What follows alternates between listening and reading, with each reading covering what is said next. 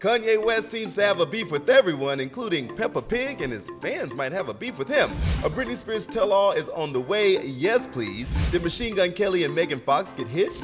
Plus, the music world lost singer Nightbirde. All that and a look at your charts on today's show. Hey, it's Tetris, and this is Billboard News for 22222. What a fun date. And we love to have our editorial staff on with us. Hi, Kristen. Hey, how are you doing? I'm good. You ready to jump into this? Yeah, let's do it. Well, we always start with Kanye. Yep. In the latest Kanye West update, the rapper is publicly calling out who exactly he has beef with, including maybe Peppa Pig. The list is way longer than you might even expect. But first, the album, Donda 2, is not even out yet? Yeah, so fans were thinking that this album was going to come out at midnight, but it didn't show up. And so this is actually supposed to be a very interesting drop for Kanye. It's going to be on his STEM player and not on a streaming service. So the STEM player is just a little handheld device. You can buy it for $200. Oh my goodness. If I had the album and I was like, I'd just be pressing play until it came up. 200 bucks? Yeah, $200. And, you know, he never seems to drop things on time, though. So I don't think that fans are that surprised by this. Well, what I am surprised about, though, is his list of beefs. So someone else posted a list of his beefs. It had the normal names, you know, Kim Kardashian, Pete Davis, and Taylor Swift, but Peppa Pig also met the, made yeah, the I saw Peppa Pig on there and I was really confused. I guess I must have missed that one. I don't know what she did to him or what he did to her. I know, I know. But there's, uh, he actually commented on this post and was like, actually, this list is twice as long. And he listed off all these other people that he has beef with, including some companies. So he had Apple, Spotify, UMG CEO Lucian Grainge. He also called out Black History Month and Obama. Imagine So- having a beef with Obama. I know. I was really upset that he also put Disney and liberals, and that those two words pretty much describe me. So I'm like, honestly, please leave us alone. The Disney adults have enough going on, Kanye. I mean, but I'm, I guess I'm excited for the album to see what's gonna happen. Yeah, I'm excited for the album too. And also, he has an event tonight in Miami. So we'll see how that goes. Hopefully the album comes out. Where's my stem player? Somebody send me one. now, Britney Spears' voice will be heard. The Princess of Pop has a tell-all book on the way, according to reports of a $15 million deal that surfaced on Monday. Yeah, absolutely huge. So Page Six was the first one to report the news. So basically, one of the largest publishing houses, Simon and Schuster, is giving one of the largest sums for a book deal, $15 million to Wow. Britney to talk about her conservatorship, her family drama, and obviously her big pop career. She has so much to cover in this book, I, can't even imagine. And you know, in January, Jamie Lynn, her sister, dropped her book, Things I Should Have Said, and she already kind of told her side of the whole Britney stuff. And I know a lot of fans had a problem with that, saying that maybe Jamie shouldn't have been releasing this book so soon after Free Britney. Yeah, so I think that this is going to be a really good opportunity for Britney to clear the air and to tell her own truth and to tell her own story from her perspective. Um, but, you know, after Jamie Lynn's book came out, Britney did go on social media and she posted this graphic of a typewriter. And the caption was, Shall I start from the beginning? So she's been thinking about this one for a little bit, I think. She's so ready. And you said the word truth just then, and it made me think of one of my favorite Britney Mm-hmm. lyrics. She says, People can take everything away from you, but they can never take away your truth. Britney, love we're that. ready for your truth. Encanto continues to dominate two charts as Super Bowl halftime performers make a splash, and Justin Bieber breaks a record. Let's break down the charts. Yes, let's. So we don't talk about Bruno, which is from Encanto, leads on the Billboard Hot 100 chart for a fourth week. So this is the most popular Disney song on the Hot 100 in history. And I think I have to credit this with TikTok. I know Yeah. everybody's listening to the song, but there's so many good Bruno TikToks. Absolutely. Let's take a look at a few.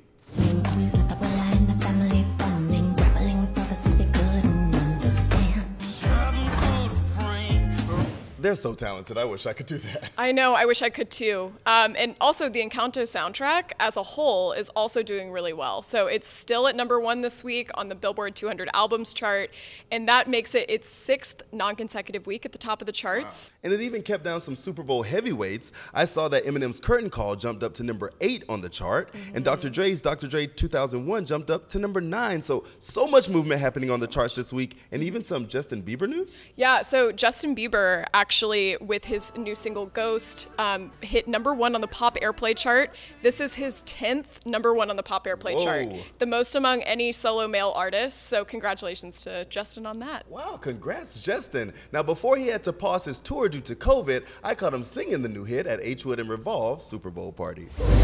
I'll settle for the ghost of you. I miss you more than life.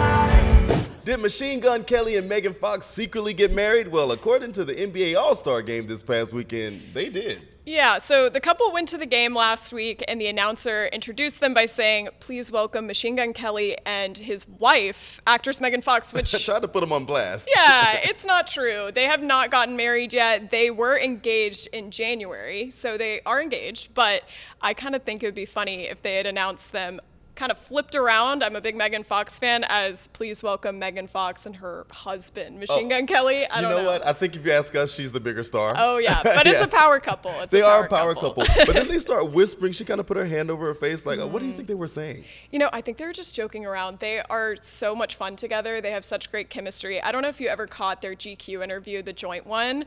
Um, it's on YouTube, and it's so much fun to watch because they just clearly are in, so in love and just having a great I'd time together. see them on a date with Kim and Pete.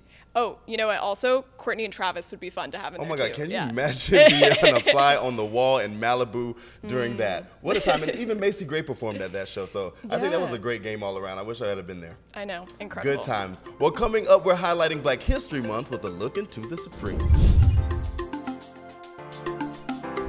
Today, we're celebrating a little black history and music with this iconic accomplishment. On October 22nd, 1966, the Supremes became the first female group to top the Billboard 200. Also, the first number one for any black female artist or group with their album, The Supremes A Go Go. So they started out as the Primettes in 1959 and signed to Berry Gordy's Motown Records in 1961 as the Supremes.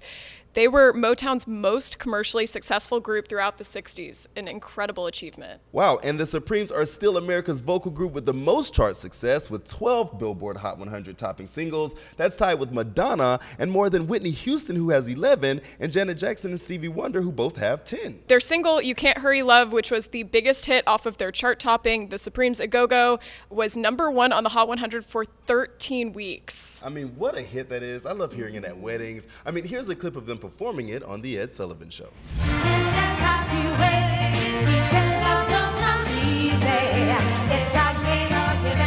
I mean, what a great song. Yes, what a great song. And this album really catapulted them to success. Following year, Berry Gordy rebranded the group as Diana Ross and the Supremes, obviously the big frontrunner of that group. Um, and three years later, in 1970, Diana Ross left the group to start her solo career and went on to be one of the most iconic solo vocalists in American history. So they are just iconic. Diana Ross and the Supremes. Cheers to them and all their accomplishments.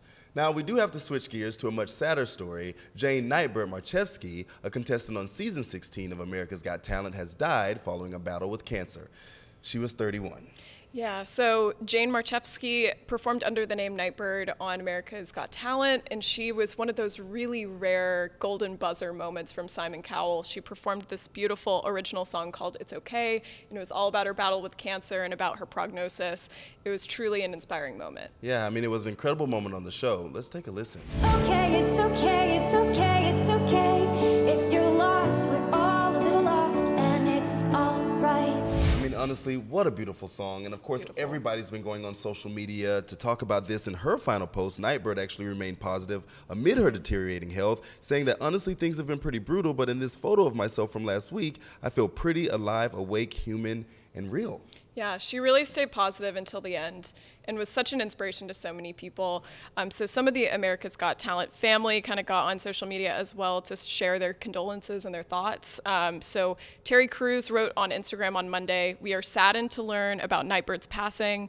Our condolences go to her closest family and friends in this difficult time. We love you, Nightbirde.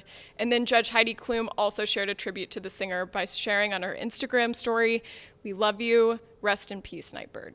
Well, we send our condolences to all her family and fans. What an amazing talent. Well, thank you for hanging out here with me today. Yeah, thanks for having me. Of course, anytime. Make sure you guys come back tomorrow for more Billboard News. I'm Tetris Kelly.